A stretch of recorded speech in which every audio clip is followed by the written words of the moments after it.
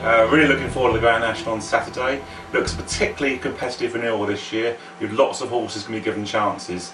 For me, I'd be with Ruby Walsh and whatever he rides. Likely to ride Seabass for his father, I think he's got a big chance.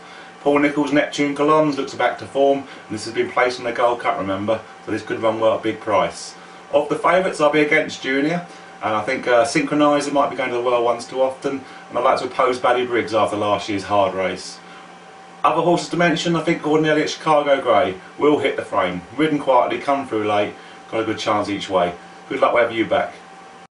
Looking ahead to next week's Grand National, two I fancy against the field are Killyglen, who's in the process of running a fine race last year when tipping up five or six out, and the much improved Giles Cross at around the 25 to 1 mark. Lee, I'm no I'm no form expert on the jumps, but Seabass you need to be backing at 16 to 1. This horse has won six on the bounce, made you know good step up to graded company when it won its sixth in a row. The trainer's won it before. I think you know it's had its problems, but at 16 to one, I think you get a really good run for your money. The other horse, which is extremely close to my heart, State of Play was my first sort of winner at a price in the uh, the Hennessy.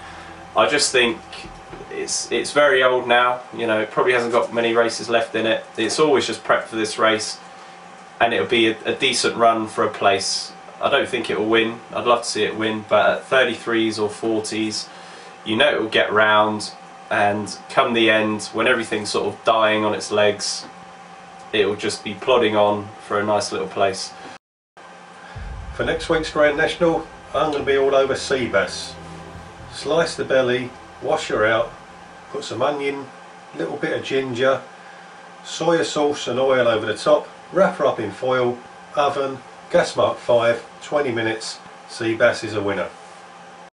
Looking forward to next week's Grand National Aintree. Um, the one I fancy in the big one is Giles Cross. Uh, gone close a couple of times in the Welsh National. Very impressive at Haydock last time. Uh, the extra trip probably should suit. Uh, about 25 to 1 I think is uh, fair value. That's my tip for the Grand National.